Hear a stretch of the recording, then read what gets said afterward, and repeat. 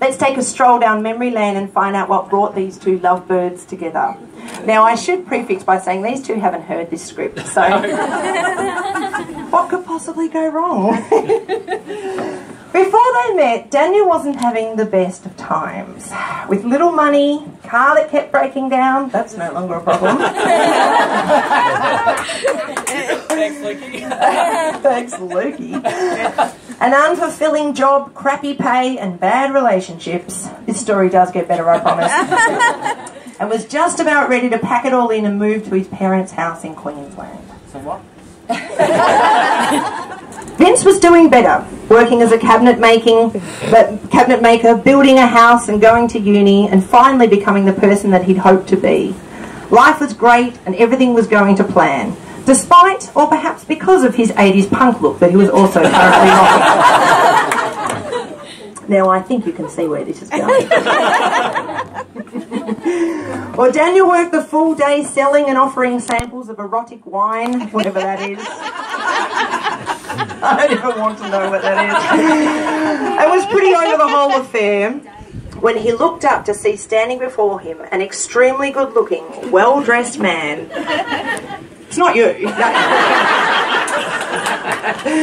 With an electric smile and tattoos on both arms.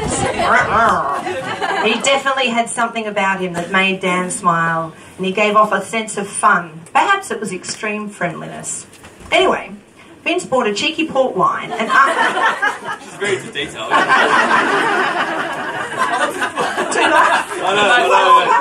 I know, I know, I know. I was nervous for now, really nervous. Yeah, it gets worse. Um, Vince said he first walked into the exhibition, he clocked in the distance a stunning looking surfing, surfy kind of guy with blonde tips and instantly felt he needed to know him. He even turned to his friend and said, that is the guy I'm going to marry. Boom. And his friend responded, You think everyone's gay. And then after fate had thrown them together one too many times, they finally hooked up. And since that moment, haven't left each other's side for 15 years. Whew. Some of you kids aren't even that old yet. Now, boys, who wants to go first? It's time for the... Oh. I didn't tell you what we're doing yet. I promise to never take you for granted. I promise to always respect you. I'm so excited to spend the rest of my life with you. Everything I am and have is yours. Give him a cheer.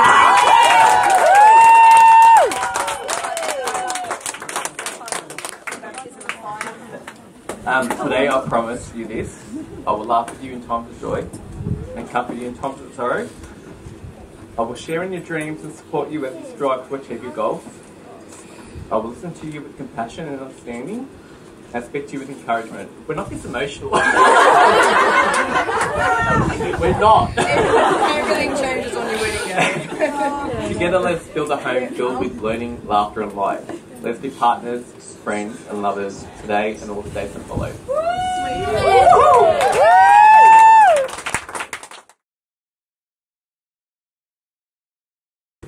To be my lawful wedded husband. It